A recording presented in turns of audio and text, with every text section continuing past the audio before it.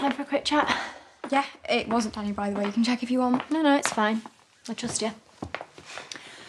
I spoke to a mate earlier about Ethan. I thought that was all sorted. Well, it's not though, really, is it? Look, I didn't mean for him to get in trouble. And he's a solicitor. The police have no evidence on him.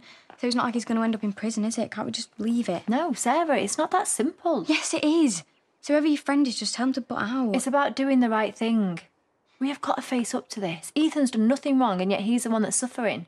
People see him, Sarah, and they see a black guy that's been pushing drugs. Yeah, but it's not about race. No, not to us, it's not. Yeah, well, I didn't pick his jacket on purpose, and I didn't make that copper single him out. Sarah, people are judging him. Okay, he's the one that's having to deal with the fallout. It's not right. Come on, you are brave enough to deal with this.